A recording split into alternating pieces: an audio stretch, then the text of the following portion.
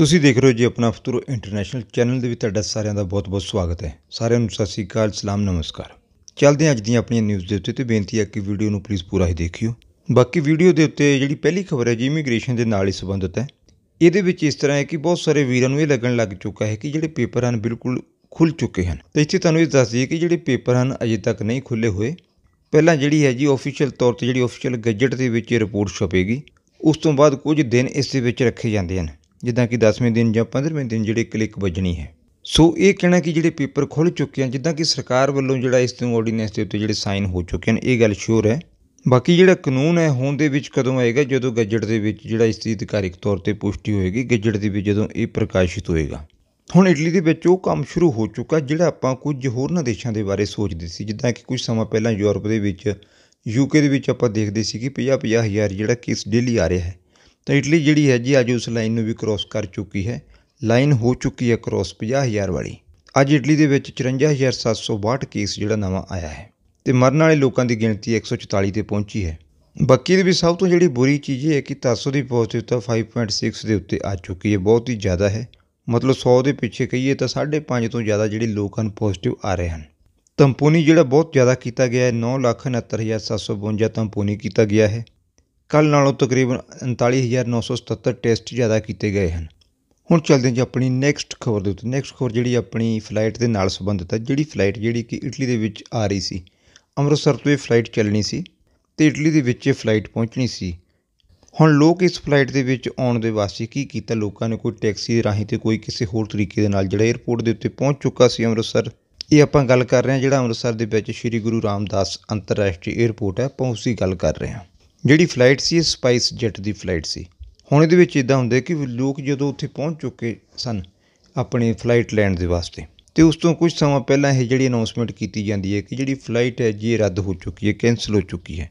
ਇਹ ਫਲਾਈਟ ਜਿਸ ਦਾ ਨੰਬਰ ਸੀ YU641 ਤੇ ਇਸ ਤੋਂ ਬਾਅਦ ਜਿਹੜੇ 에ਅਰਪੋਰਟ ਦੇ ਅਧਿਕਾਰੀ ਸਨ ਨੇ ਦੱਸਿਆ ਕਿ ਜਿਹੜੀ ਫਲਾਈਟ ਰੱਦ ਇਸ ਕਰਕੇ ਕੀਤੀ ਗਈ ਹੈ ਕਿਉਂਕਿ ਜਿਹੜੀ ਮੌਸਮ ਦੀ ਖਰਾਬੀ ਹੈ, ਇਸ ਦੀ ਵਜ੍ਹਾ ਦੇ ਨਾਲ ਫਲਾਈਟ ਅੱਗੇ ਨਹੀਂ ਜਾ ਸਕਦੀ।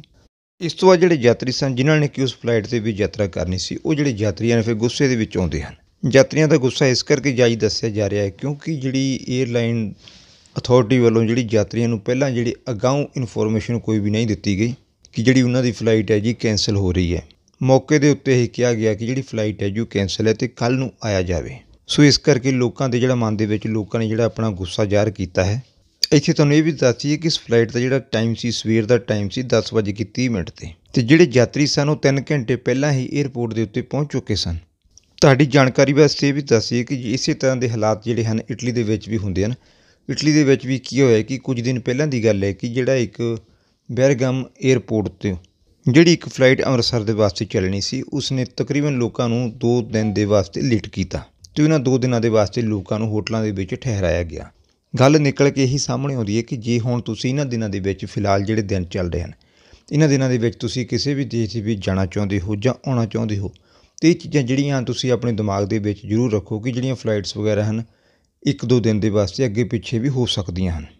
ਨੈਕਸਟ ਕੋਰ ਜਿਹੜੀ ਆਪਣੀ ਬਹੁਤ ਹੀ ਇੰਟਰਸਟਿੰਗ ਖਬਰ ਹੈ, ਗੱਲ ਕਰ ਰਹੇ ਹਾਂ ਡਾਕਟਰ ਅਰਨੋਲਡ ਮੋਂਟੋ, ਜਿਹੜੇ ਕਿ ਐਪੋਡੈਮੀਓਲੋਜੀ ਅਤੇ ਪਬਲਿਕ ਹੈਲਥ ਡਿਪਾਰਟਮੈਂਟ ਜਿਹੜਾ ਕਿ university of Michigan united state ਦੇ ਵਿੱਚ ਪੈਂਦਾ ਇਹਦੇ ਵਿੱਚ ਇੱਕ ਪ੍ਰੋਫੈਸਰ ਹਨ। ਪਿਛਲੇ ਸਾਲ ਕੀ ਹੋਇਆ ਸੀ ਕਿ ਇਹਨਾਂ ਦਾ ਨਾਮ ਜਿਹੜਾ ਸੀ, ਬਹੁਤ ਹੀ ਜ਼ਿਆਦਾ ਵਰਲਡ ਲੈਵਲ ਦੇ ਉੱਤੇ ਮਸ਼ਹੂਰ ਹੋਇਆ ਸੀ। ਕਿਉਂਕਿ ਇਹਨਾਂ ਨੇ ਜਿੱਦਾਂ ਕਿ ਇਹਨਾਂ ਨੂੰ ਹੈੱਡ ਬਣਾਇਆ ਗਿਆ ਸੀ ਐਡਵਾਈਜ਼ਰ ਕਮਿਸ਼ਨ ਦਾ, ਜਿਹਦੇ ਵਿੱਚ ਇਹਨਾਂ ਨੇ ਇੰਡੀਕੇਸ਼ਨ ਦਿੱਤੀਆਂ ਸਨ ਐਫਡੀਏ ਨੂੰ। ਐਫਡੀਏ ਦਾ ਮਤਲਬ ਫੂਡ ਐਂਡ ਡਰੱਗ ਐਡਮਿਨਿਸਟ੍ਰੇਸ਼ਨ ਤੇ ਇਹਦੇ ਵਿੱਚ ਜਿਹੜੀਆਂ ਇਹਨਾਂ ਨੇ ਦੱਸੀਆਂ ਸੀ ਕਿ ਜਿੱਦਾਂ ਕਿ ਸੇਫਟੀ ਤੇ ਰੈਲੀਬਿਲਿਟੀ ਜਿਹੜੀ ਵੈਕਸੀਨ ਦੀ ਸੀ ਅਗੇਂਸਟ ਕੋਵਿਡ ਮਤਲਬ ਕਿ ਜਿਹੜੀ ਅਪਰੂਵਲ ਵਗੈਰਾ ਵੈਕਸੀਨ ਨੂੰ ਮਿਲੀ ਸੀ, ਉਹਦੇ ਵਿੱਚ ਇਹਨਾਂ ਦਾ ਬਹੁਤ ਵੱਡਾ ਹੱਥ ਸੀ। ਇਹਨਾਂ ਨੇ ਇੱਕ ਤਰ੍ਹਾਂ ਦਾ ਜਿਹੜਾ ਵੈਕਸੀਨ ਦੇ ਉੱਤੇ ਦੱਸਿਆ ਸੀ ਕਿ ਵੈਕਸੀਨ ਜਿਹੜੀ ਹੈ ਜੀ ਇਫੈਕਟਿਵ ਹੈ ਸੇਫ ਹੈ। ਤੇ ਹੁਣ ਜਿਹੜੇ ਇਹਨਾਂ ਦੇ ਆਪਣੇ ਵਿਚਾਰ ਹਨ, ਉਹ ਬਦਲ ਚੁੱਕੇ ਹਨ। ਜਿਹੜੀ ਸਟੇਟਮੈਂਟ ਹੈ ਜੀ, ਉਹ ਬਦਲ ਚੁੱਕੀ ਹੈ। ਹੁਣ ਅੱਜ ਦਾ ਜਿਹੜਾ ਇਹਨਾਂ ਦਾ ਵਿਚਾਰ ਹੈ ਜੀ, ਜਿਹੜੀ ਸਟੇਟਮੈਂਟ ਬਦਲ ਕੇ ਇਹਨਾਂ ਨੇ ਬਿਆਨ ਦਿੱਤਾ, ਉਹਨਾਂ ਨੇ ਕਿਹਾ ਕਿ ਜਿਹੜੀ ਵੈਕਸੀਨ ਹੈ ਜੀ, ਉਹ ਸੇਫ ਹੈ। ਪਰੰਤੂ ਅਸੀਂ ਇਹ ਆਸ ਨਹੀਂ ਕਰ ਸਕਦੇ ਕਿ ਇੰਨੀ ਜ਼ਿਆਦਾ ਇਫੈਕਟਿਵ ਵੀ ਹੋ ਸਕਦੀ ਹੈ। ਮਤਲਬ ਜਿਹੜੀ ਇਸ ਦੀ ਇਫੈਕਟਿਵਨੈਸ ਹੈ, ਉਹਦੇ ਉੱਤੇ ਇਹਨਾਂ ਨੂੰ ਹੁਣ ਸ਼ੱਕ ਜ਼ਾਹਰ ਹੋ ਰਿਹਾ ਹੈ। ਉਹ ਸ਼ੱਕ ਜ਼ਾਹਰ ਇਸ ਕਰਕੇ ਹੋ ਰਿਹਾ ਕਿਉਂਕਿ ਬਹੁਤ ਸਾਰੇ ਲੋਕਾਂ ਨੇ ਵੈਕਸੀਨ ਲਗਵਾਈ ਵੀ ਹੋਈ ਹੈ ਅਤੇ ਫਿਰ ਵੀ ਜਿੱਦਾਂ ਕਿ ਲੋਕ ਕੁਝ ਨਾ ਕੁਝ ਜਿਹੜੀ ਪ੍ਰੋਬਲਮ ਵਗੈਰਾ ਆ ਰਹੀ ਹੈ, ਜਿੱਦਾਂ ਕਿ ਓਮਿਕਰੋਨ ਦੀ ਵਜ੍ਹਾ ਦੇ ਨਾਲ। ਇਸ ਤਰ੍ਹਾਂ ਇਹਨਾਂ ਨੇ ਜਿਹੜਾ ਆਪਣਾ ਬਿਆਨ ਹੈ ਜੀ ਉਸ ਨੂੰ ਬਦਲਿਆ ਹੈ। ਬਾਕੀ ਚੱਲਦੇ ਹਾਂ ਜੀ ਅਗਲੀ ਖਬਰ ਉੱਤੇ, ਜਿਨ੍ਹਾਂ ਨੇ ਜੌਨਸਨ ਐਂਡ ਜੌਨਸਨ ਦੀ ਜਿਹੜੀ ਵੈਕਸੀਨ ਲਗਵਾਈ ਹੋਈ ਇਟਲੀ ਦੇ ਵਿੱਚ, ਆਪਾਂ ਗੱਲ ਕਰ ਰਹੇ ਹਾਂ ਜਿਨ੍ਹਾਂ ਨੇ ਸਿਰਫ ਇੱਕ ਹੀ ਜੌਨਸਨ ਐਂਡ ਜੌਨਸਨ ਦੀ ਵੈਕਸੀਨ ਜਿਹੜੀ ਲਗਵਾਈ ਹੋਈ ਹੈ। ਉਹ ਇਸ ਚੀਜ਼ ਨੂੰ ਪ੍ਰੂਵ ਕਰਨ ਦੇ ਵਿੱਚ ਨਾਕਾਮ ਰਹਿ ਰਹੇ ਹਨ ਕਿ ਉਹਨਾਂ ਨੇ ਜਿਹੜੀ ਬੂਸਟਰ ਡੋਜ਼ ਲਗਵਾ ਲਈ ਹੈ। ਅਗਰ ਉਹਨਾਂ ਨੇ ਬੂਸਟਰ ਡੋਜ਼ ਜਿਹੜੀ ਲਗਵਾ ਵੀ ਲਈ ਹੈ ਸਿਸਟਮ ਦੇ ਵਿੱਚ ਇੱਕ ਐਰਰ ਆ ਰਹੀ ਹੈ। ਇਹਨਾਂ ਲੋਕਾਂ ਨੂੰ ਜ਼ਿਆਦਾਤਰ ਜਿਹੜਾ ਗ੍ਰੀਨ ਪਾਸ ਨੂੰ ਡਾਊਨਲੋਡ ਕਰਨ ਦੇ ਵਿੱਚ ਜਿਹੜੀ ਪ੍ਰੋਬਲਮ ਇਸ ਟਾਈਮ ਆ ਰਹੀ ਹੈ। ਹੁਣ ਚੱਲਦੇ ਹਾਂ ਜੀ ਆਪਣੇ ਨਵੇਂ ਨਿਯਮ ਦੇ ਉੱਪਰ, ਜਿਹੜਾ ਕਿ ਗੈਜਟ ਦੇ ਵਿੱਚ ਆ ਚੁੱਕਾ ਹੈ ਗਜੇਤਾ ਦੇ ਵਿੱਚ ਆ ਚੁੱਕਾ ਹੈ। ਇਹਦੇ ਵਿੱਚ ਹੁਣ ਇਸ ਤਰ੍ਹਾਂ ਹੋਏਗਾ ਕਿ ਜੇ ਕੋਈ ਵੀ ਫੋਰਨਰ ਬੰਦਾ ਜਿਹੜਾ ਹੈ ਇਟਲੀ ਦੇ ਵਿੱਚ ਐਂਟਰ ਕਰਦਾ ਹੈ, ਕਿ ਸਪੋਜ਼ ਕਰੋ ਕਿ ਅਗਰ ਉਸ ਦਾ ਜਿਹੜਾ ਤਾਂਪੋ ਨਹੀਂ ਕੀਤਾ ਜਾਂਦਾ ਹੈ ਤਾਂਪੋ ਜਿਹੜਾ ਐਂਟੀਜੈਨਿਕ ਜਾਂ ਮੋਲੀਕੂਲਰ ਕੋਈ ਵੀ ਹੋ ਸਕਦਾ ਹੈ, ਅਗਰ ਉਹ ਬੰਦਾ ਉਸ ਦੇ ਵਿੱਚ ਪੋਜ਼ਿਟਿਵ ਆ ਜਾਂਦਾ ਹੈ ਤਾਂ ਫਿਰ ਜਿਹੜਾ ਹੈ ਜੀ ਆਜ਼ਿਲ ਦੇ ਨਾਲ ਕੰਟੈਕਟ ਕਰਨਾ ਪਏਗਾ ਕਿ ਉਸ ਨੂੰ ਜਿਹੜਾ ਕੁਆਰੰਟਾਈਨ ਕਰਨ ਦੇ ਵਾਸਤੇ ਕਿੱਥੇ ਰੱਖਿਆ ਜਾਵੇਗਾ। ਹੋ ਸਕਦਾ ਕਿ ਉਸ ਨੂੰ ਕੋਵਿਡ ਹੋਟਲ ਦੇ ਵਿੱਚ ਵੀ ਜ਼ਰੂਰਤ ਪਵੇ ਤਾਂ ਰੱਖਿਆ ਜਾ ਸਕਦਾ ਹੈ। ਇਹ ਜਿਹੜੀ ਨਵੀਂ ਡਿਗਰੀ ਹੈ ਜੀ, ਇਹ ਜਿਹੜੀ ਅਫੀਸ਼ੀਅਲ ਗੈਜਟ ਹੈ ਜੀ ਉਸ ਦੇ ਵਿੱਚ ਪਬਲਿਕੇਟ ਹੋ ਚੁੱਕੀ ਹੈ। ਇਹਦੇ ਵਿੱਚ ਹੁਣ ਇਸ ਤਰ੍ਹਾਂ ਹੋਏਗਾ ਕਿ ਜਿਹੜਾ ਨਵਾਂ ਨਿਯਮ ਇਹ ਕਹਿੰਦਾ ਹੈ ਕਿ ਜਿਹੜਾ ਐਕਸਪੈਂਸ ਹੈ ਜੀ, ਜੋ ਵੀ ਖਰਚਾ ਹੋਏਗਾ, ਉਹ ਯਾਤਰੀ ਦੇ ਕੋਲੋਂ ਹੀ ਲਿਆ ਜਾਏਗਾ ਕੁਆਰੰਟਾਈਨ ਦਾ ਟੋਟਲ ਖਰਚਾ। ਬਾਕੀ ਇੱਥੇ ਤੁਹਾਨੂੰ ਇਹ ਵੀ ਦੱਸ ਦਈਏ ਕਿ ਜਿਹੜੇ ਯੂਰਪੀਅਨ ਦੇ ਸਿਟੀਜ਼ਨ ਹਨ, ਜਿੱਦਾਂ ਕਿ ਯੂਰਪੀਅਨ ਯੂਨੀਅਨ ਦੇ, ਇਹਨਾਂ ਨੂੰ ਅਗਰ ਇਟਲੀ ਦੇ ਵਿੱਚ ਇਹ ਲੋਕ ਆਉਂਦੇ ਹਨ ਜਿਨ੍ਹਾਂ ਦੇ ਵਾਸਤੇ ਜਿਹੜਾ 5 ਦਿਨ ਦਾ ਕੁਆਰੰਟਾਈਨ ਕੀਤਾ ਗਿਆ ਹੈ, ਜਿਹੜੇ ਲੋਕ ਅਨਵੈਕਸੀਨੇਟਡ ਹਨ। ਇਹਦੇ ਨਾਲ ਹੀ ਇਹਨਾਂ ਨੂੰ ਇੱਕ 24 ਘੰਟੇ ਜਿਹੜੀ ਪ੍ਰਾਇੋਰਟੀ ਵਾਲਾ ਜਿਹੜਾ ਟੈਸਟ ਹੈ, ਜੋ ਵੀ ਆਪਣੇ ਕੋਲ ਰੱਖਣਾ ਪਵੇਗਾ ਐਂਟੀਜਨ ਟੈਸਟ ਜੇ ਮੋਲੀਕੂਲਰ ਟੈਸਟ ਕਰਾਇਆ ਤਾਂ ਜਿਹੜੀ ਇਸ ਦੀ ਅਵਧੀ ਹੈ ਜੀ 48 ਘੰਟੇ ਰੱਖੀ ਗਈ ਹੈ। ਇਸ ਤੋਂ ਇਲਾਵਾ ਜਿਹੜੀਆਂ ਨਾਨ ਈਯੂ ਕੰਟਰੀਜ਼ ਹਨ, ਇਹਨਾਂ ਦੇ ਵਾਸਤੇ ਵੀ ਜਿਹੜਾ ਸਰਕਾਰ ਨੇ ਨਿਯਮ ਬਣਾਇਆ, ਉਹਦੇ ਵਿੱਚ ਇਸ ਤਰ੍ਹਾਂ ਹੈ ਕਿ ਜਿਹੜੇ ਅਨਵੈਕਸੀਨੇਟਡ ਸਿਟੀਜ਼ਨ ਹਨ ਉਹਨਾਂ ਦੇ ਵਾਸਤੇ ਜਿਹੜਾ ਇੱਥੇ ਪਹੁੰਚਣ ਦੇ ਉੱਤੇ, ਜਿੱਦਾਂ ਕਿ 14 ਦਿਨ ਦਾ ਜਿੱਦਾਂ ਪਹਿਲਾਂ ਰੱਖਿਆ ਗਿਆ ਸੀ ਜਿਹੜਾ ਕੁਆਰੰਟਾਈਨ ਹੁਣ ਉਸ ਨੂੰ ਜਿਹੜਾ 10 ਦਿਨ ਦਾ ਕੁਆਰੰਟਾਈਨ ਕਰ ਦਿੱਤਾ ਗਿਆ ਹੈ ਲਾਜ਼ਮੀ ਤੌਰ ਤੇ। ਬਾਕੀ ਜਿਹੜੇ ਲੋਕ ਵੈਕਸੀਨ ਵਗੈਰਾ ਲਗਵਾ ਚੁੱਕੇ ਹਨ, ਉਹਨਾਂ ਨੂੰ ਜਿਹੜਾ ਮੋਲੀਕੂਲਰ ਟੈਸਟ ਜਾਂ ਐਂਟੀਜਨ ਟੈਸਟ ਹੈ ਜੀ, ਉਹਦੇ ਵਿੱਚੋਂ ਲੰਘਣਾ ਪਏਗਾ ਤੇ ਉਹਨਾਂ ਦੇ ਕੋਲ ਜਿਹੜੀ 72 ਘੰਟੇ ਵਾਲੀ ਰਿਪੋਰਟ ਹੋਣੀ ਜ਼ਰੂਰੀ ਹੈ ਜਾਂ ਫਿਰ ਐਂਟੀਜਨ ਟੈਸਟ ਜਿਹੜਾ ਕਿ ਜਿਸ ਦੀ ਆਪਦੀ 24 ਘੰਟੇ ਹੁੰਦੀ ਹੈ ਉਸ ਨੂੰ ਕੋਲ ਰੱਖਣਾ ਜ਼ਰੂਰੀ ਹੈ। ਬਾਕੀ ਹੁਣ ਗੱਲ ਕਰਦੇ ਹਾਂ ਜੀ ਆਪਣੇ ਗੁਆਂਢੀ ਮੁਲਕ ਫਰਾਂਸ ਦੀ। ਫਰਾਂਸ ਦੇ ਵਿੱਚ ਵੀ ਜਿਹੜੀ ਸਿਚੁਏਸ਼ਨ ਹੈ ਜੀ, ਦਿਨ ਪਰ ਦਿਨ ਹੋਰ ਜ਼ਿਆਦਾ ਖਰਾਬ ਹੋ ਰਹੀ ਹੈ। ਹੁਣ ਲਾਸਟ 24 ਘੰਟੇ ਦੇ ਵਿੱਚ ਦੇਖੀਏ ਤਾਂ ਫਰਾਂਸ ਦੇ ਵਿੱਚ 1 ਲੱਖ ਤੋਂ ਜ਼ਿਆਦਾ ਕੇਸ ਆਇਆ ਹੈ। ਇਹ ਮਤਲਬ ਪਹਿਲਾ ਟਾਈਮ ਹੈ ਕਿ ਜਿਹੜਾ ਫਰਾਂਸ ਦੇ ਵਿੱਚ 1 ਲੱਖ ਦਾ ਅੰਕੜਾ ਜਿਹੜਾ ਹੈ ਜੀ, ਪਾਰ ਹੋਇਆ ਹੈ, ਜਦੋਂ ਤੋਂ ਇਹ ਬਿਮਾਰੀ ਜਿਹੜੀ ਸਟਾਰਟ ਹੋਈ ਹੈ।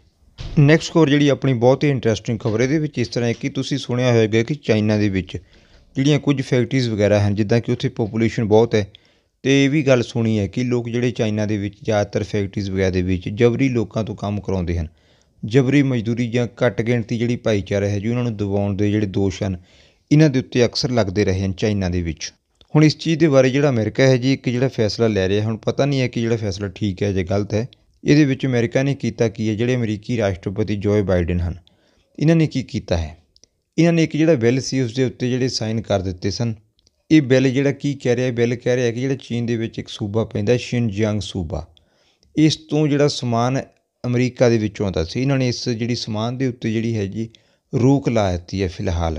ਇਹਦੇ ਵਿੱਚ ਜਿਹੜੇ ਲੋਕਾਂ ਨੇ ਸਮਾਨ ਭੇਜਿਆ ਸੀ ਚਾਈਨਾ ਤੋਂ, ਜਿਹੜੇ ਵਪਾਰੀ ਹੋਣਗੇ, ਉਹਨਾਂ ਨੂੰ ਇੱਕ ਚੀਜ਼ ਦਾ ਮੌਕਾ ਦਿੱਤਾ ਗਿਆ। ਉਹਨਾਂ ਨੂੰ ਕਿਹਾ ਗਿਆ ਕਿ ਤੁਸੀਂ ਇਹ ਸਾਬਤ ਕਰੋ ਕਿ ਜਿਹੜਾ ਸਮਾਨ ਤੁਸੀਂ ਇਹ ਬਣਾਇਆ ਹੈ, ਫੈਕਟਰੀਜ਼ ਵਗੈਰਾ ਦੇ ਵਿੱਚ, ਤੁਸੀਂ ਇਸ ਸਮਾਨ ਨੂੰ ਬਣਾਉਣ ਦੇ ਵਾਸਤੇ ਜਿਹੜੇ ਬੰਧੂਆ ਮਜ਼ਦੂਰ ਹਨ ਉਹਨਾਂ ਨੂੰ ਤੁਸੀਂ ਜਿਹੜਾ ਹੈ ਜੀ, ਉਹਨਾਂ ਦਾ ਉਪਯੋਗ ਨਹੀਂ ਕੀਤਾ। ਅਗਰ ਤੁਸੀਂ ਸਾਬਤ ਕਰੋਗੇ ਤਾਂ ਜਿਹੜੀ ਐਂਟਰੀ ਹੈ ਜੀ, ਸਮਾਨ ਦੀ ਯੂ ਐਸ ਏ ਦੇ ਵਿੱਚ ਹੋ ਸਕਦੀ ਹੈ।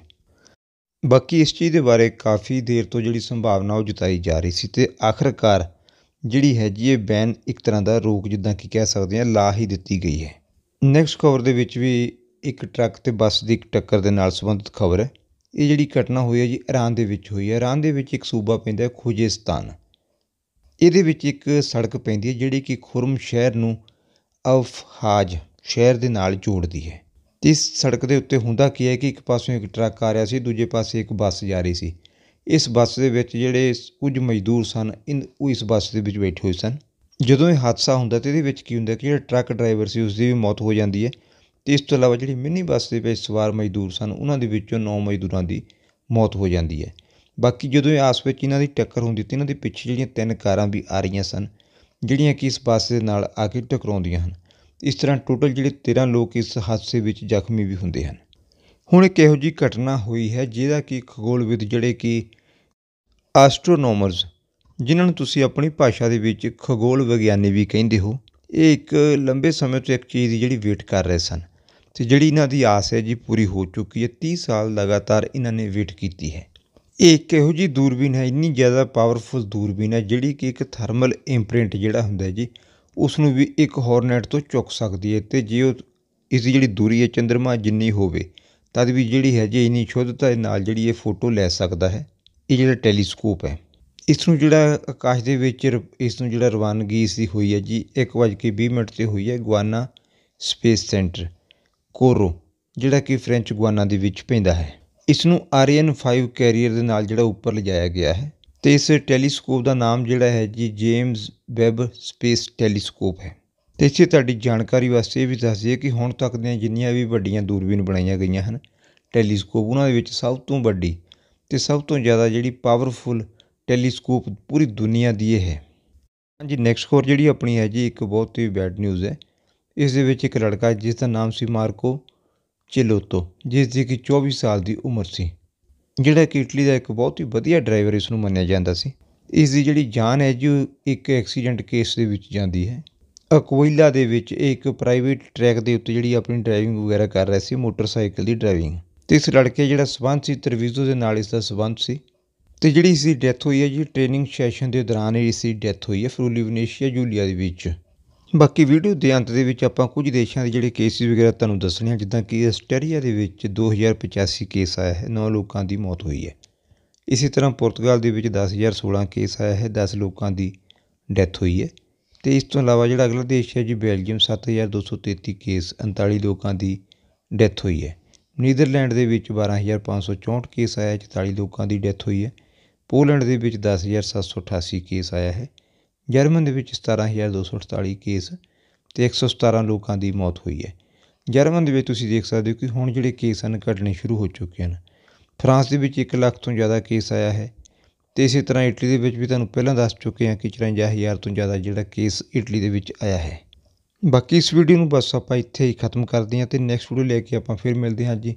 ਤੁਸੀਂ ਇੱਥੇ ਤੱਕ ਵੀਡੀਓ ਦੇਖੀ, ਤੁਹਾਡਾ ਸਾਰਿਆਂ ਦਾ ਬਹੁਤ ਬਹੁਤ ਧੰਨਵਾਦ।